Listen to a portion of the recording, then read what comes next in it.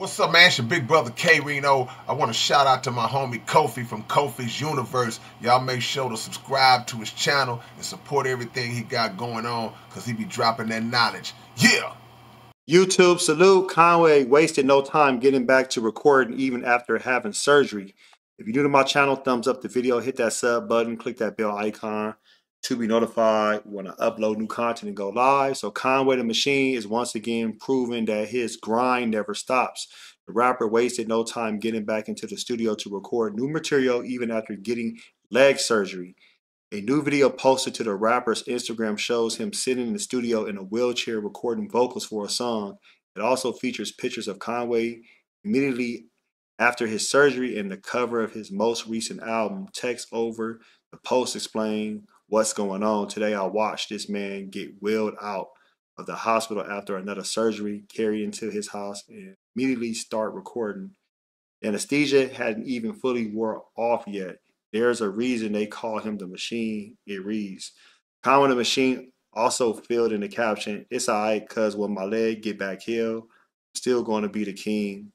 Conway's prolific output is no joke. The rapper has already dropped two new albums this year yeah, check out the two albums he dropped. Um, Pain Provided, what is it? Let me see what it's called again.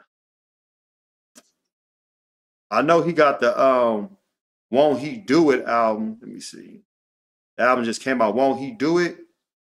And then he got Pain Provided Profit. I'm sorry, that's a, a collab album with Jae Skeese, who signed to um Drumwork Music. So um I'm proud of Conway because, like I said, at the end of the day, you know, people they'll sit here um and say all kind of other stuff and oh man, you know, my leg hurt. I don't feel like doing nothing today. My back hurt. I don't feel like doing nothing today. To me, I feel like it's up to you. It's you versus you. Nothing should stop you out here when it comes to your path. If you want to make something happen, you know, a lot of people are complacent. A lot of people are just going with the flow. They just in the in the in the time of just being there. As far as what I mean, being there is like you can do what's best for you, and you know what's best for you. If somebody wants to get up and go to work, right, and they know they got to be there early, and they want to still work out, either you can work out after work or before work. You prioritize everything that's important to you. If you want to go, if you want to go back to school, or you in school and you know you got to study, but you got to be at somewhere else to take care of some business or work, you're to prioritize the things that's on your path.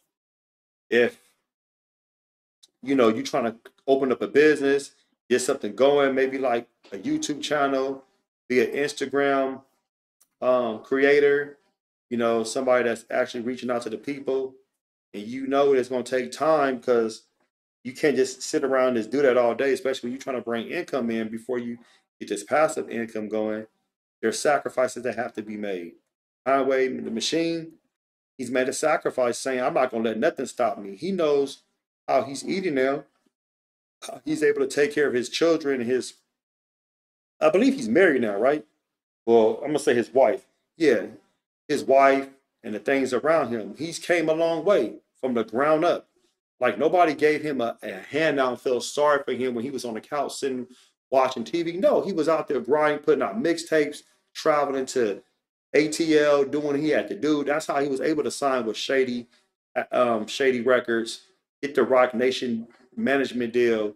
He did put the work in, and they saw, you know, his work ethic. Like, okay, this guy's worth it.